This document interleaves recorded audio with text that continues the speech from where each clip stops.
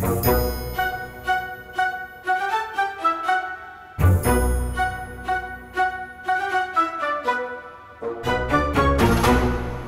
इतने भी जलाद नहीं है तुम्हारे वालिद जो इतना छुपना पड़ रहा है। तुम तो जैसे दीवारें चीन बन के खड़े हो गए थे ना उनके सामने। वक्त आया ना तो खड़ा भी हो जाऊँगा। रहने दो अभी तो हटो यहाँ से और ये खाना पकड़ाओ मुझे। सुनो गुलाम नहीं हूँ मैं तुम्हारा तमीज से बात करो। नहीं करती अब खुद ही ठूस लो ये भी। अरे